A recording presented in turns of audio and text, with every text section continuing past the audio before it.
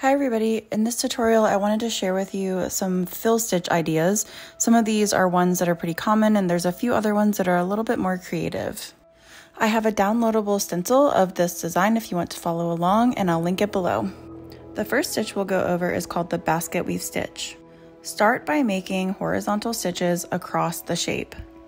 Keep a little bit of space in between these stitches and try to make them as straight and even as possible. Once you've filled in the entire shape, it's helpful to use a blunt tip needle for this next part.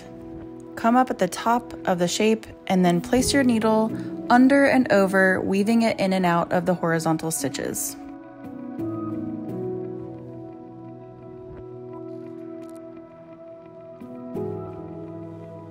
When you've hit the bottom of the shape, you can go back down through the fabric and then you'll come back up through the fabric directly beside the first stitch you just made. This time you'll weave your needle through in the opposite way that you did the first stitch.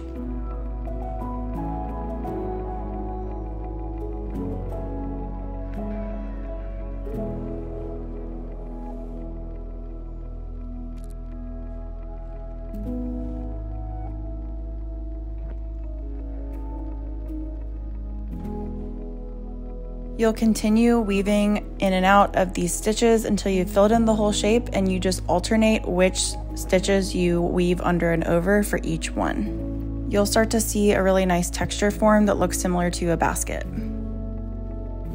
This next stitch looks very similar to a basket weave stitch and it's called the burden stitch. You can set the stitch up the exact same way as the basket stitch. I'm going to lay some straight stitches across the shape that are evenly spaced out. Now you're going to make small stitches across the first and second lines of stitches. They should alternate across the first and second row. You can play around with how dense you want to make this stitch by making the stitches closer together or a little bit more farther apart.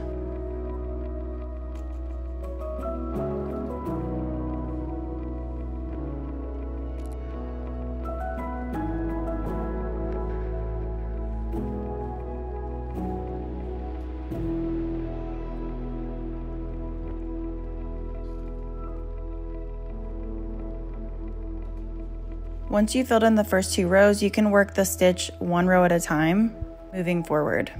You'll just make stitches on the third row that are in between the legs of the stitches above it.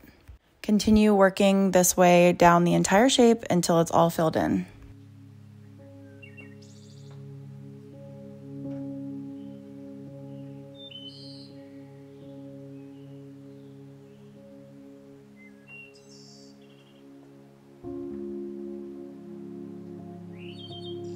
This next stitch is the stem stitch, which is usually an outline stitch, but I think it looks really pretty.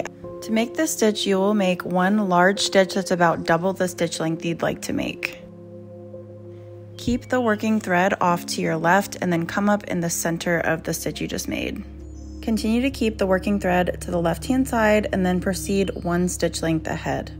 For the rest of the stitch, you will come up at the very end of the stitch above it and continue working down in rows.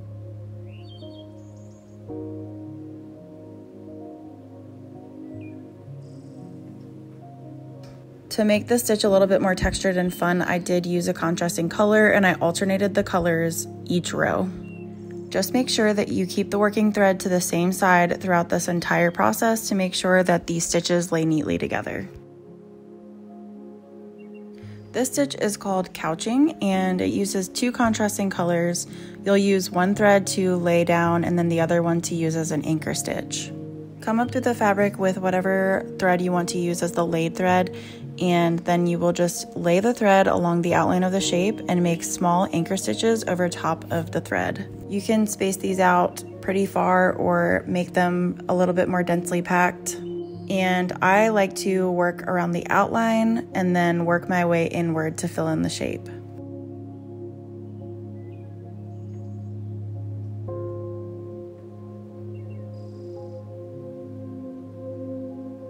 When you're done filling in the shape, you can just take the laid thread and then pull it back through to the back. This next stitch is called the seed stitch, which is an open fill stitch, which means that the fabric slightly shows through. It's extremely simple. You can basically just make small straight stitches that scatter around and go in every which way. And I like to just space them out pretty far apart and then use another color to fill back in the areas that I want to fill a little bit more densely. Again, you can make this as filled in or as spaced out as you want, depending on what kind of texture you want to create. This stitch is called the long and short stitch, and this is great for blending colors together. I'm using two strands of thread for this, but if you want a really subtle blend, I would use one strand. I chose colors that were similar in shade, but not completely similar in shade, so it's pretty obvious where the color changes, but I just wanted to do this for the example. Essentially, you'll just make long and short stitches, and they don't have to be perfect. You can kind of vary the length as you go. And then once you fill in as much of the shape as you want, you can go in with your second color and overlap these stitches into the ends of the other darker color. I really like to use this stitch for thread painting, but I also like to use it for really large areas I need to fill in. I prefer not to use the satin stitch for large areas because the stitches tend to sag if you carry these stitches across too long of an area. This next stitch is the chain stitch, which is usually another outline stitch, but I really like to use it to fill in things that need a little bit more texture.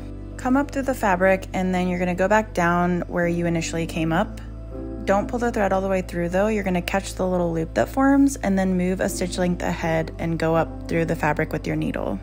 Pull this little loop and it should catch on the thread and then you're going to go back down where the working thread is again and catch the little loop that forms. These will form little chains and you'll just work this stitch as long as you want I prefer again to work the outline of the shape and then work my way inwards in kind of a spirally fashion to fill in the entire shape this way.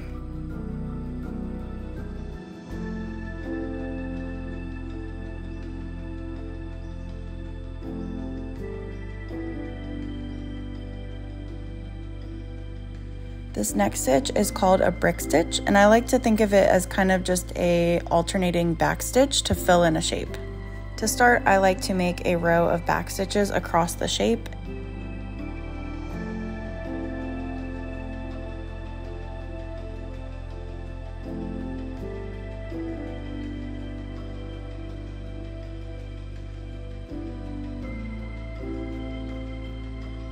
And then the next row, the stitches should be staggered. So the end of the next stitch should be in the middle of the stitches above. This might make it to where some of the stitches along the edge of this line might be a little bit shorter, but that's totally fine. You just wanna make sure that they're completely and evenly alternating. I apologize, some of this footage might be ever so slightly out of focus, but I hope that you get the general idea.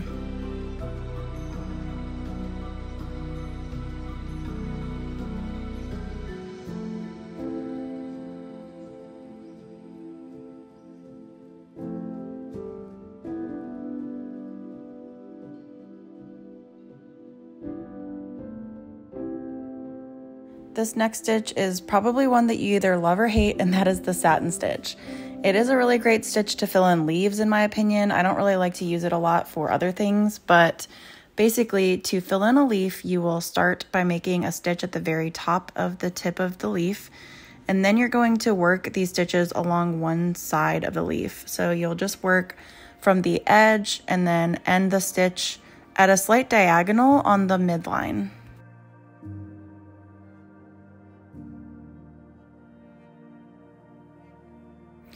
Fill in the entire left side and then you'll do the exact same thing on the right side, but it, the stitches should be at the opposite diagonal. The stitches will meet in the middle of the leaf, which will form a natural seam line that looks kind of similar to the central vein of a leaf.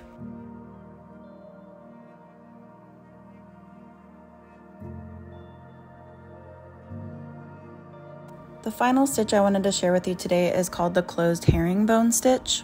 You'll make a small stitch at the very tip of the leaf. Then you'll come up through the fabric along the edge of the shape and cross over to the opposite edge of the shape. This will make a diagonal stitch and then you'll repeat this in the opposite direction on the other side. You'll continue alternating all the way down the shape this way until you've filled in the entire shape. This stitch is fun for leaves as well, or pretty much anything that you want a little bit of texture in. It's not really a raised stitch, but it does have a little bit of dimension because of the overlapping effect of the threads. I really hope you guys enjoyed this tutorial and learned a new stitch or two. If you like these kind of tutorials and you're interested in learning even more about embroidery, I have a bunch more tutorials on my YouTube as well as my Patreon, so please check out both. All right, I'll see you in the next one.